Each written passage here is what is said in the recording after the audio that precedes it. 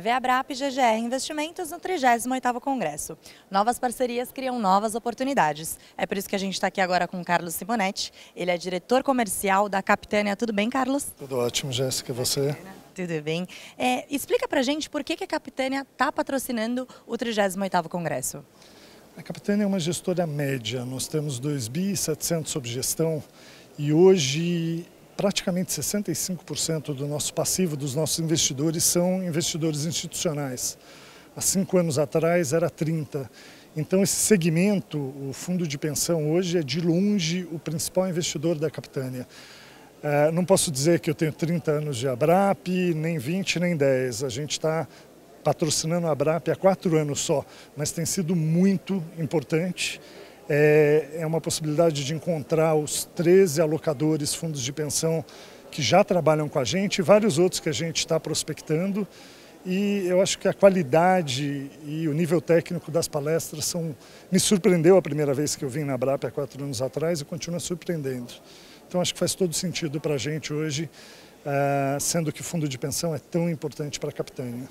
Tá certo. E falando um pouquinho do stand de vocês, quais são os produtos e serviços que vocês estão apresentando para o público aqui? Claro. Capitânia tem um foco específico, exclusivo em crédito privado e imobiliário. Então, nós temos hoje cinco produtos nesses dois segmentos, fundos abertos, e temos 12 fundos exclusivos também que atuam em, com atuação em crédito imobiliário. Desses 12 fundos exclusivos, nove são de fundações a gente está apresentando um pouco mais do mesmo, uh, como eu falei, crédito privado imobiliário, e temos produtos muito competitivos, com performance muito consistente já, alguns com 8, 9 anos de história. Certo. E o que representa então essa parceria entre a BRAP e Capitânia? Eu, eu, acho que é, como eu disse na, na, no começo, né? hoje 65% dos nossos investidores são fundos de pensão. O Congresso representa super bem esse segmento que é importantíssimo. Então, para a gente faz todo sentido. Eu, no começo de cada ano, quando eu tenho que discutir o orçamento para o ano, o que a gente vai patrocinar, o que não vai, a primeira coisa que eu fecho internamente é o Congresso da BRAP. Certo. E para a gente fechar esse bate-papo, é, como que a Capitânia é, prevê o futuro no Brasil? Como será que vai ser?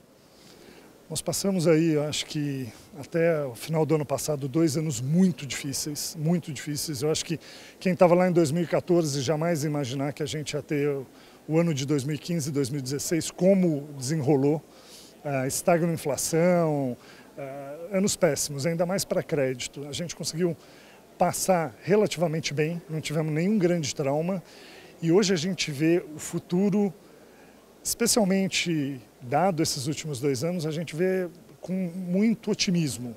Tem um ano eleitoral já em 2018, tem as incertezas desse processo eleitoral, mas eu acho que esses juros baixos, juros já está 8,25, vai a 7,25, deve ficar por um período mais prolongado, isso é muito saudável para as empresas, para os indivíduos, para todo mundo que tem dívida. Então a gente tá, a Capitânia está bastante otimista.